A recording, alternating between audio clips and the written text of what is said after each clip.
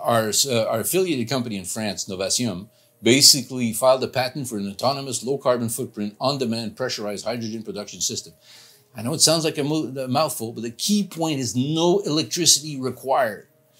It is truly an autonomous system that is going to change the way hydrogen can be produced. What makes this system really unique is that instead of having uh, instead of having electrolyzer that convert the that extract the hydrogen from the water, we have a chemical reaction where two basically non-hazardous material are react with the water and generate the hydrogen.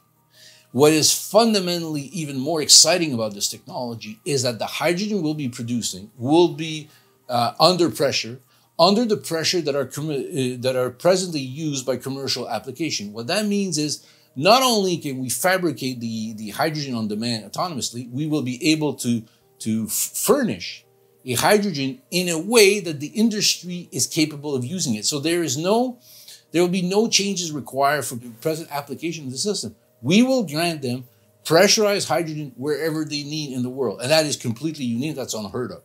And that's really what we're pushing forward with this technology. When we started Novacium in, uh, last year, in 2022, uh, Q3 of 2022, one of the big projects that the PhDs, the, the scientists, basically starting Novacium, is they wanted to continue uh, the work they had been doing over the years over uh, generating hydrogen through hydrolysis through a chemical reaction of water and, and the system. And with their expertise with their system, they they basically did the test required so we could file the patent. And for us, the filing of the patent really opens up many doors. Until you file a patent, you can't really communicate about this. But from this moment on, we can communicate about the uniqueness and the incredible advantage of this technology in a certain way, until patents are filed, we are limited about what we said. But the application, the potential of this technology is so strong that even before, just because of the interrelation that our scientists had with, uh, with, with, other scientists in looking for, for solution, we ended up getting a request for a specific material, which we're a uh, system that we're developing right now, and that is even before. Now that now that we can start talking more about it, there'll be more people interested in discovering it, and we'll be able to push it more forward. One of the one of the first basically commercial application that we're looking at, or that basically was brought to us to, to resolve, was having a system, a way of manufacturing the hydrogen that could be completely autonomous, safe, with a, with a simplistic logistic problem.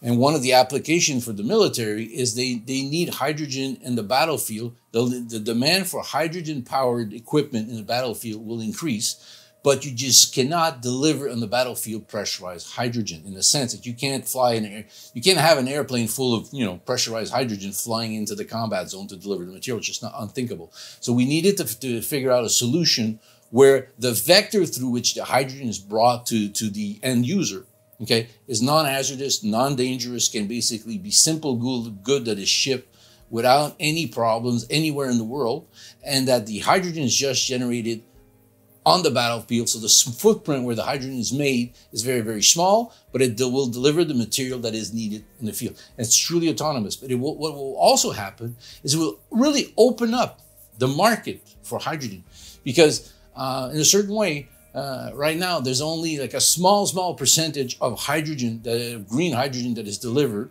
and it, they, can be used. most of it comes from, from, from um, fossil fuel. But with our technology, we will be able to increase that because we're, we're not stuck with the same limitation. The logistic issues with regard to manufacturing green hydrogen to the end users are very, very complex. So our technology will also will not only be the most efficient, safest way of producing hydrogen, but it will be probably the cheapest way of delivering hydrogen on demand anywhere on the location. This patent and this te new technology we're, we're, developing is very important for HPQ. One of the main reasons because it fits within the three verticalities of which we've been telling people that we are doing and which we are executing on. People have to realize we are really executing on delivering those three verticalities moving forward. Uh, you know, just for a reminder, our first verticality is silicon, where we're developing a new process that's going to be green to convert quartz into high purity silicon in one step. Second word that we're doing in that verticality is, is taking that high purity silicon, converting into silicon anode materials for batteries. That's also moving very well. Second verticality is, is the one where we're developing the fume silica process, which allows us to develop a green, a, a much greener way of delivering um, fume silica to the industry, something that's been unheard of, that's going to have a lot of advantages moving forward. The third verticalities we've always said we'd be working on is an autonomous hydrogen system. And now that we finally filed this patent, we can now really start to talk so people can realize the incredible potential this, this can have for the industry, for the renewable energy space, but for HPQ Innovation as we develop this. And the interesting part of, of this technology is that by the end of next year, 2024, we will have an operating prototype. And what that means is not a system that validates technology. It'll be an operational system that either military or civilian application can use, can use to validate that it works for their application. And that's very, very big because the scaling up after that is going to be much easier to do or cheaper to do relative to the uh, to, to, to all our other projects. So there is a coherent picture. If our investors investors just go take a look at our investor page, you'll see that this has always been one of the verticalities we were working on. And now that we filed the patent, we can finally talk more about this and the fact that this technology is not a pipe dream. It really exists. It really works, and we're really developing.